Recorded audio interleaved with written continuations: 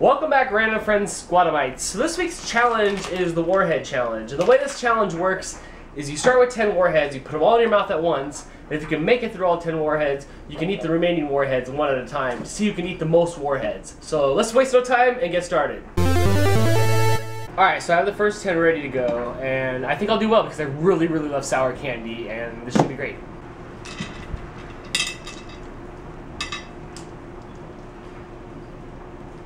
Alright. Mmm. Candy.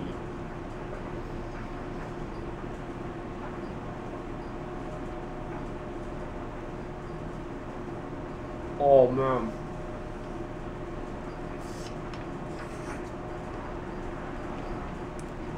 Ugh.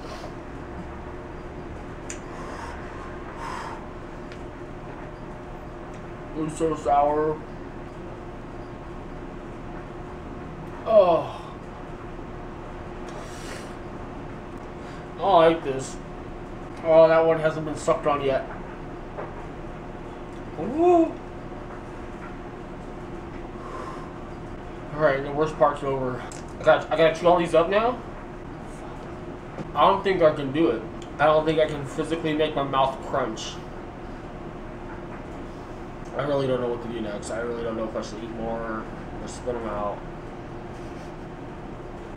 Alright, that's it. I think I'm done. You can have your warheads back.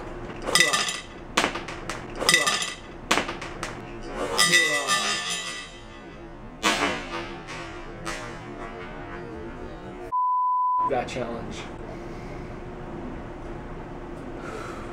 Alright, so I couldn't get through the first 10. I thought it was going to be easier than this, but it's all gritty and sour, and it's very confusing. Well, I hope the rest of the crew can do better than I can. As always, catch you guys next week on Random Friend Squad. That was so much sugar. Sugar Rush!